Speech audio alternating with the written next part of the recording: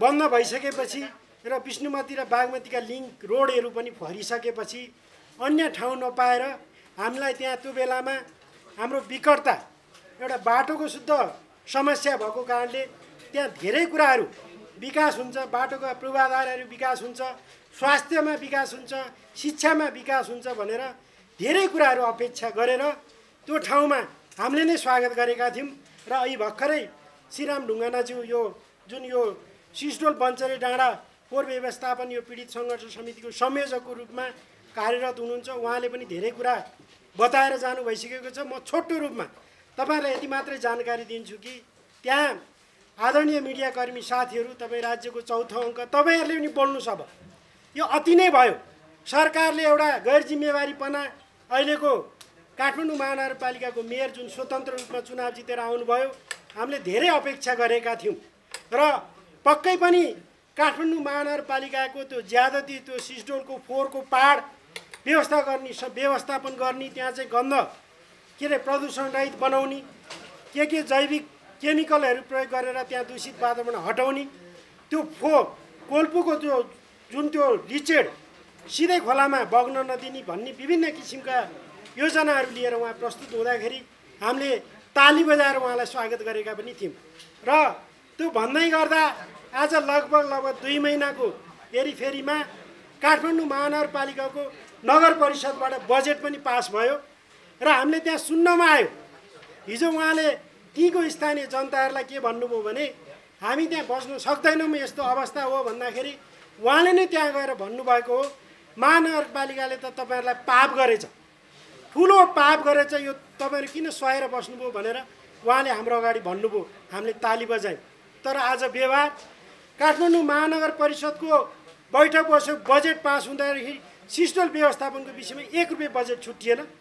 सिस्टल व्यवस्थापनको सन्धानमा अहिले पनि महानगरपालिकाले एउटा दीर्घकालीन योजना शुद्ध सार्वजनिक गर्न सकेको छैन। अस्ति सहरी विकास मन्त्रालयको बैठकमा म पनि थिएँ हामीले यही कुराहरू राख्यौँ।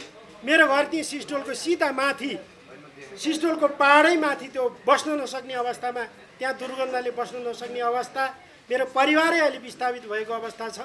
त्यहाँ विभिन्न किसिमको रोगहरू क्यान्सरदेखि लिएर अरू किसिमका छालाका रोग जटिल रोगहरू भएका बिरामीहरू त्यहाँ त्यस्तो अवस्था छ। महानगरपालिका अहिलेसम्म अठारवटा नगरपालिकाको फोहोर लाने जिम्मा लिन्छ केही पनि गर्दैन। त्यहाँ अहिले अघि श्रीराम ढुङ्गानाज्यूले भन्नुभयो आज दस दिनसम्म फोहोर रोक्दाखेरि तपाईँ मिडियाकर्मीहरू पनि बोल्नु भएको छैन किन? किन? त्यो चाहिँ त्यहाँ बाटोभरि अहिले हिँड्न नसक्ने अवस्था छ। काठमाडौँ हैजा फैलिँदैछ। यस्तो प्रदूषणको सहर काठमाडौँ बन्दैछ कसले गर्दा?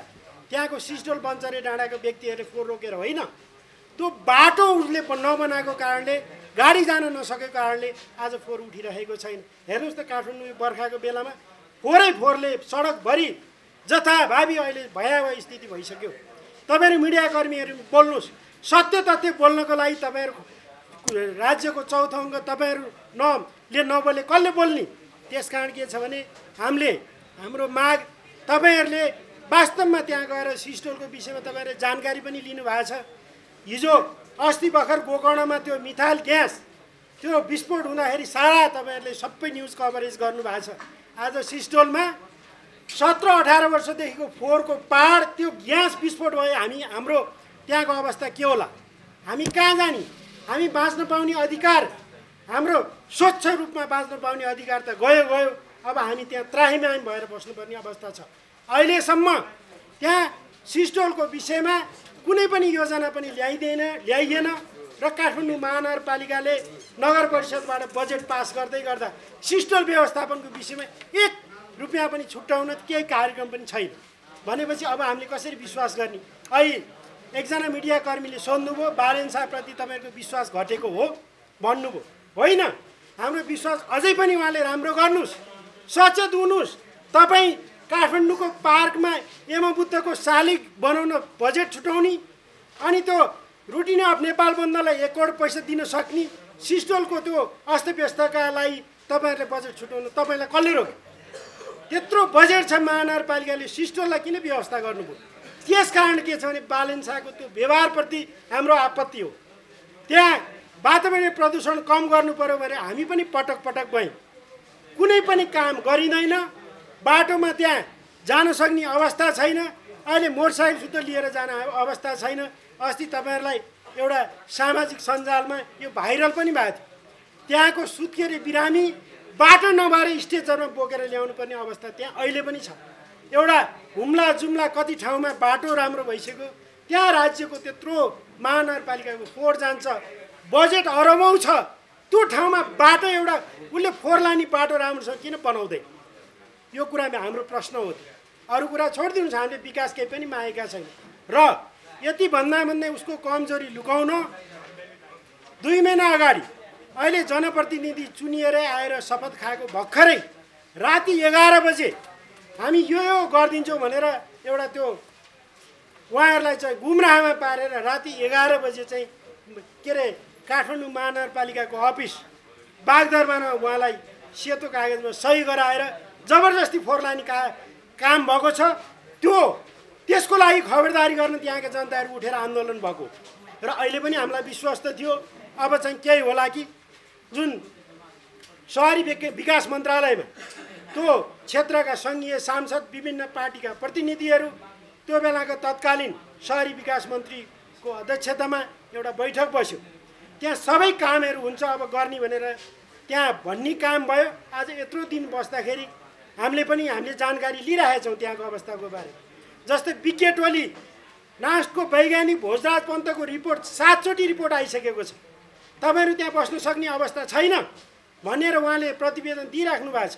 खोलामा यो अहिलेको त्यो फोहोरको लिचेड खोलामा त्यत्तिकै छोड्दा अहिले पनि त्यहाँ मान्छेहरू खेती गर्न छोडेर बसिरहनु भएको छ। किन? त्यो पानी लाउँदाखेरि त्यो रोपेको अन्न नै सखा पनि उब्जनी नहुने भएको कारणले दुःख ज्याला मल गरेर उत्पादन गरेर फल्दैन भने किन गर्ने भनेर आज बाँझो छोडेका छन् किसानहरूले। त्यहाँको कृषकहरू धराशायी अवस्थामा छन् तिनीहरूको आर्थिक एउटा अवस्था नाजुक हुँदै गएको छ। त्यहाँ अरू कुनै पनि हाम्रो जग्गा जमिन धेरै कुराहरू पनि आइसकेका छ। हाम्रो जग्गा जमिन हाम्रा पनि छोराछोरी छन्। हामीले पनि आफ्नो एउटा आर्थिक रूपमा त्यहाँ ब्याङ्कसँग लोन लिएर त्यो जग्गा धितो राखेर हामीले लोन लिन सक्ने अवस्था छैन। किनभने त्यहाँको अवस्थाले गर्दा त्यहाँ ब्याङ्क जाँदैन। त्यहाँको जग्गाको किनमेच अहिले बन्द भएको छ प्राय।